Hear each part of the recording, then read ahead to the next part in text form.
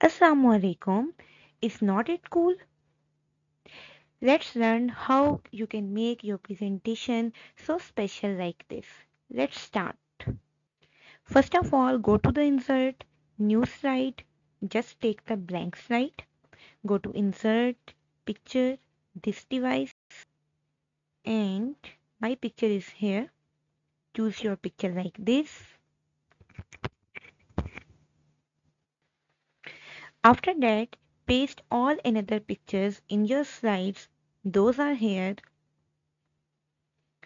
Like a picture of cucumber, cheese. Insert it.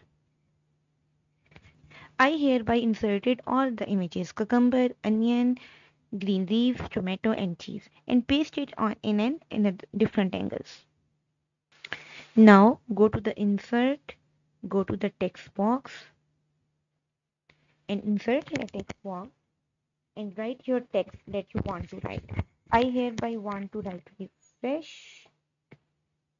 Take it, change its color. Just set it according to your choice. Now what I, what I do next, I just put it down.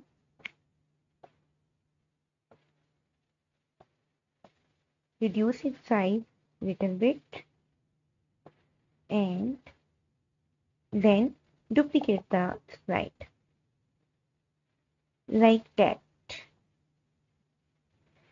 After that, put this text and put it on the top of the image.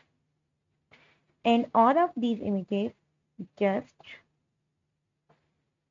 put back on the main burger. After that, select both this image and your text. Right click, bring to front and click on the bring, bring to front. Then click here, go to the format background and change the color of your background according to your choice. As hereby I pick the green color. Okay. Now what to do next? This is our next slide that I already duplicated and this is our previous slide. Just select both the slides at once. Select this, press control and this slide. The, both, both sides are selected together. Go to the transition and go to the morph. And now see the magic. Stay tuned with fantastic tutorials